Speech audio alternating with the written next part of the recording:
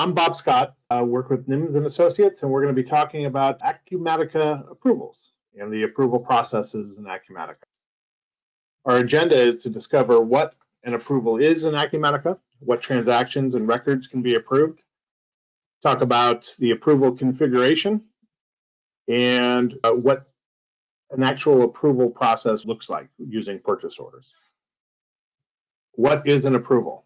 An approval in Acumatica is a business process where a transaction or a record cannot be finalized until a authorized person approves it. There's processes in Acumatica where you create these predefined approvals mappings, and these approval mappings are applied to transactions and records in Acumatica.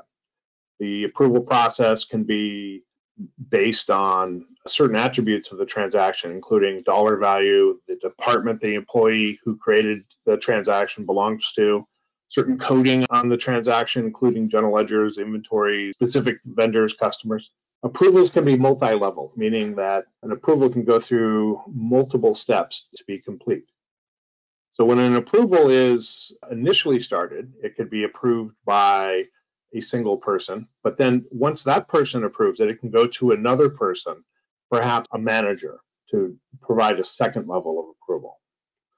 Notifications like emails and text can be sent to approvers to notify them and alert them that an approval is necessary for them. Elements that can be approved in Acumatica.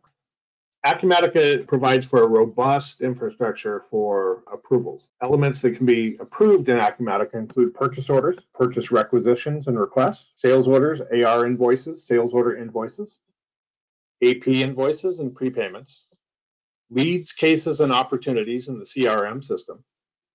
In the project management system, projects, engineering change orders, time cards, and other project related transactions, and cash transactions all of those offer opportunities to set approvals. Approval configuration. Approval configuration typically is a three-step process. The first is to define the approval process. The second is to set that definition in the particular module's configuration. So for example, if we set a purchase order approval process and define that, then we'd go to the purchase order module and set that as the default approval process. Step three would be to configure any alerts that are necessary for approval. To define the approval process in Acumatica, navigate to configuration. And under configuration, there are two elements that could be used in the approvals. If we're having groups of people eligible to approve, you probably want us to configure the company tree. The company tree enables groups of people to provide approval processes within Acumatica. So, for example, in the finance group, any of these people could be eligible to approve a low level purchase order. In addition to the company tree, assignment and approval maps specifically tell the transaction what the approval process is going to be. If we look at this one here, purchase order two-step group approval, we can see that there's two steps to this purchase order approval process. One is that anybody in the finance team is going to be allowed to approve a purchase order. It's only looking to see if the purchase order is on hold and that a certain work group is not empty. The second level of the approval is for purchase orders of a larger dollar amount. So when a purchase order is above $5,000, this person, Michael Andrews, is going to be notified that he's got an approval to process. In the purchase order module, under purchase order preferences, you set that you want to be able to require approvals on purchase orders and which approval mapping is going to be used for the system as a whole. If there are any alerts that are necessary for approvals, that's done under System Management Notification Templates. Acumatica has a robust email capability where emails can be sent for a variety of reasons. In this case, we're setting up a email notification to say that there is a new approval for a particular user to be processed. An example of a, approval in Acumatica would be for a purchase order. An example of a, an approval process in Acumatica could be for purchase orders. In order to save time, I've pre-entered a purchase order. But we can see that Acumatica is wanting somebody in the finance group to approve this transaction.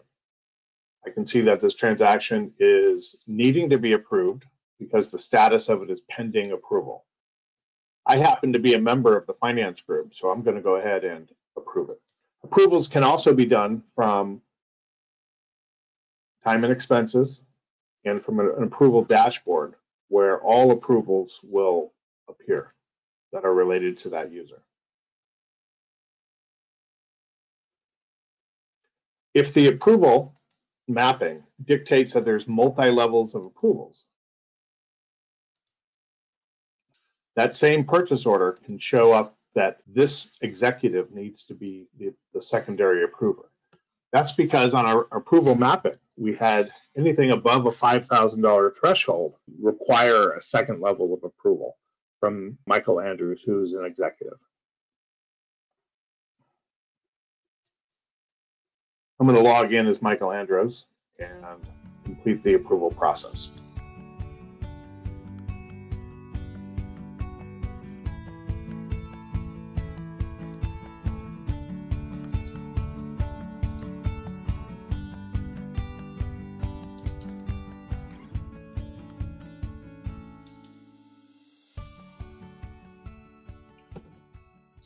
In each step of the approval process, an email or a text message could have been emailed or sent to the person responsible for the approval.